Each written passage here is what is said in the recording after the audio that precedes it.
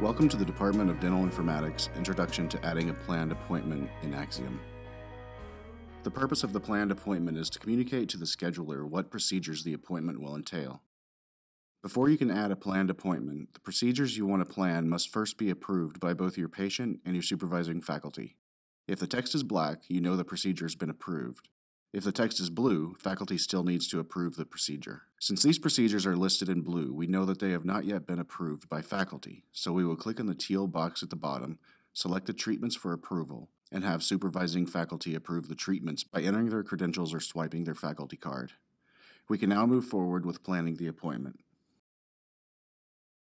In the EHR, select the treatments you would like to plan.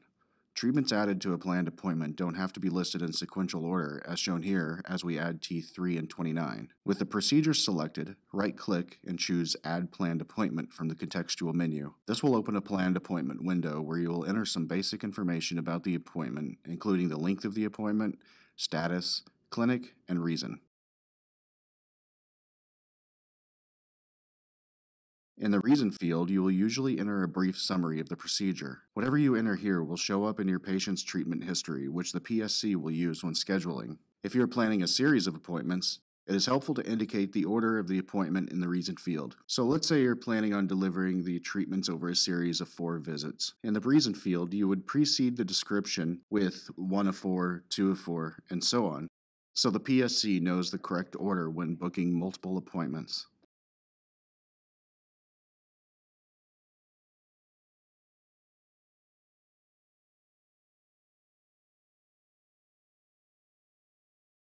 Once you have planned the treatment, you will notice a yellow calendar icon appears next to the date field, indicating that there is a planned appointment for the procedure. Once the appointment has been scheduled, the yellow calendar icon will turn white. So just remember, yellow calendar icon means the appointment is planned, and a white calendar means the appointment is scheduled. Also, you will see an entry in green text for the new planned appointment. If you notice that you've made an error, like we've done here by adding tooth 29 instead of tooth 30 to the second appointment, just double click on the green appointment text and edit the appointment accordingly.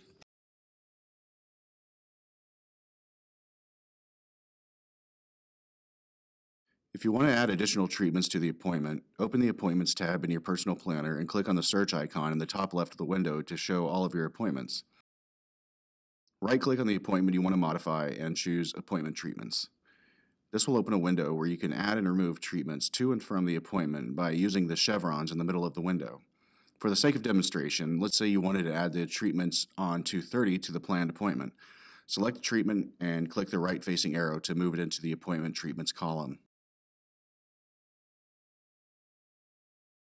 To move it back, just click the left-facing arrow. As a side note, you can add treatments that have already been scheduled for later appointments if your treatment plan has changed or time allows for additional treatments. Please note that adding the correct treatments to your appointments is imperative to ensure accurate faculty coverage. The importance of accurately adding appointment treatments cannot be overstated. Sufficient faculty coverage is important for both patient care as well as things pedagogical, so just make sure that you're adding the correct treatments to all planned appointments.